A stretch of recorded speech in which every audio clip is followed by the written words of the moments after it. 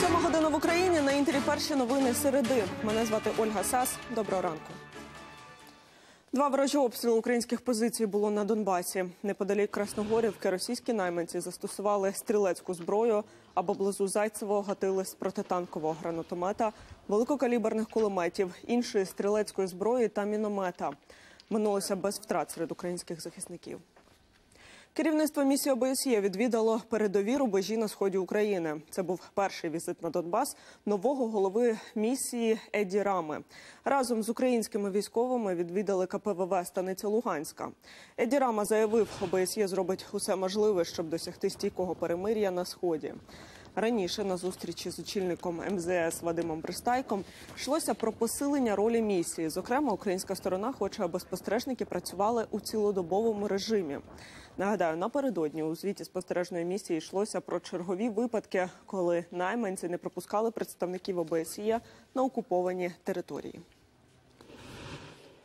Перший квадрокоптер вітчизняного виробництва презентував Укроборонпром. Розвідувальний дрон Берегиня розробив 23-річний аспірант одного із вишів. Безпілотник оснащений двома камерами цифровою та аналоговою. Зображення з них передається не лише операторові, але й наземній станції. Берегиня також має захищені канали зв'язку. Розробники кажуть, безпілотники саме такого типу мають ефективно допомогти розвідникам на сході країни. Десять наїздів на пішоходів від початку року. Така невтішна статистика на дорогах Черкас. Серед потерпілих чотирирічний хлопчик Єгор. Саме його на пішохідному переході на великій швидкості збив автомобіль. Постраждав також його брат-близнюк та дідусь. Подробиці в матеріалі Станіслава Кухарчука. Чотирирічний Єгор вже 11 днів не приходить до тями. Увечері 9 січня малечу його брата, близнюка та дідуся на шаленій швидкості збив автомобіль таксі. Вся сила удара прийшлась на маленького Єгора. Дитина була у вкрай тяжкому стані і по даний час залишається вкрай тяжкому стані. Серцева діяльність підтримується препаратами, дихання апаратом штучної вентиляції легень ну, та інші підтримуючі. Брат Єгора Гліб у цій же лікарні з численними забоями, а в дідуся перелом гомілки, розповідає батько близнюків. Так вони переходили дорогу по пішохідному переходу, йшли в напрямку до магазину. Майже не дійшли, наскільки я знаю, не дійшли майже один метр до бордюру, і у них на великій швидкості врізалось таксі. Потрібно було взагалі не дивитись на дорогу, щоб так вийшло, тому що, наскільки я знаю, він їх навіть збив своєю лівою стороною. Саме на цьому місці у спальному районі Черкас збили братів і дідуся. Після жахливої аварії тут встановили знаки пішохідних переходів, але навіть це не дисциплінує водіїв. За півтора квартали від місця аварії школа та дитсадочки. Кілька років тому пішохідний перехід тут обладнали так званими лежачими поліцейськими. А цього тижня встановили навіть ростові фігури з обох боків дороги. Водії в нас різні є, дехто і взагалі нічого не бачить. Та ні штрафи, ні кримінальна відповідальність водіїв не зупиняють. В місті Черкаси ми маємо на даний час 10 дорожньо-транспортних пригод за участю пішоходів.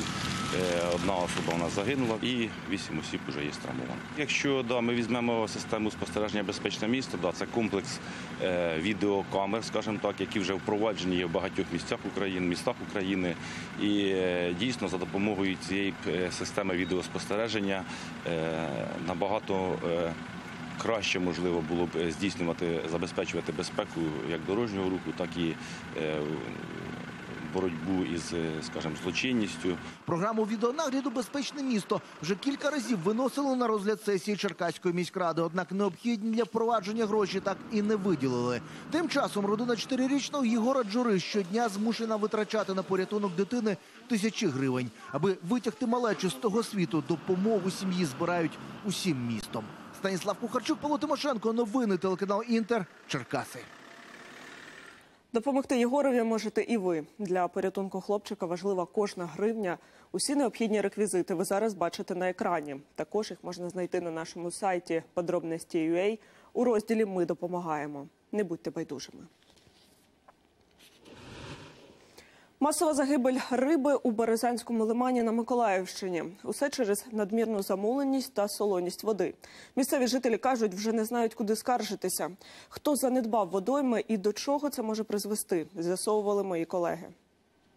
Більшість водойм Миколаївщині нині занедбані, і Березанський лиман не виняток.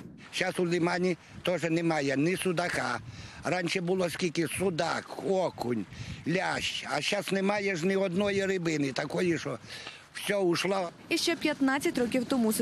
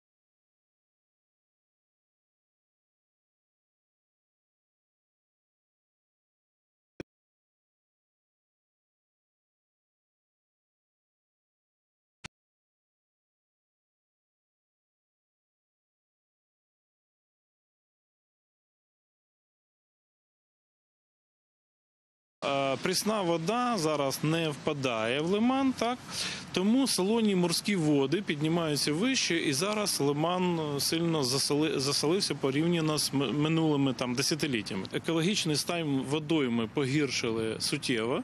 відсутність природного водообміну, зміни клімату, недбала господарська діяльність можуть призвести до незворотніх процесів. Екологи прогнозують, що ситуація лише погіршуватиметься. Тому як один зі шляхів порятунку Березанського лиману пропонують зруйнувати дамбу. За останні 15 років питання про це порушували двічі на рівні області та держави. Утім, до конкретних дій справа так і надійшла. Юлія Шашко, Марина Михайловська, Олексій Уманський. Новини телеканал Інтер. Щонайменше 40 цивільних загинули внаслідок авіаударів російської авіації в Сирії. Серед них цілі родини з дітьми. Нальоти здійснили на території провінцій Алепо і Ідліб, які не контролюють проурядові війська. Армія Башара Асада продовжує наступ на останній оплот повстанців. Попри оголошене від 9 січня перемир'я, бойові дії не вщухають. За цей час загинуло кількадесят мирних жителів. Загалом у зоні збройного конфлікту перебувають приблизно 3 мільйони людей. П'ятеро людей стали жертвами циклону Глорія на сході Іспанії. І за інформацією місцевих змі, один із них українець.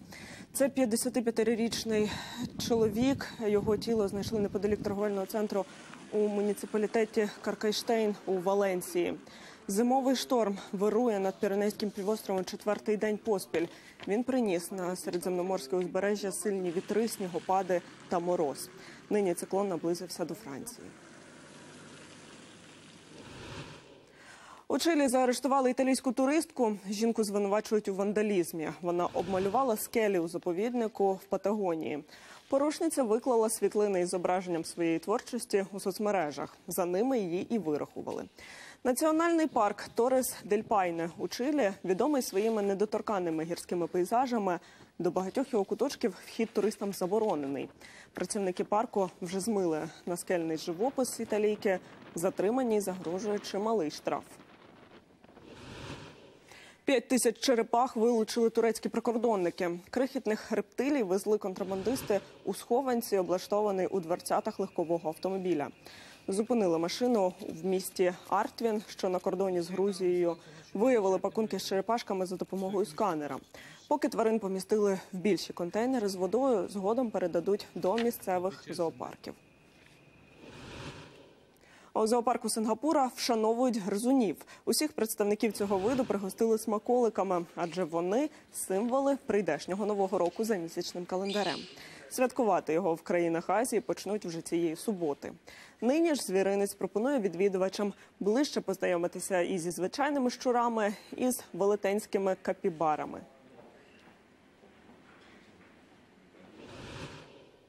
І це всі новини на цю годину. Більше дивіться о восьмій.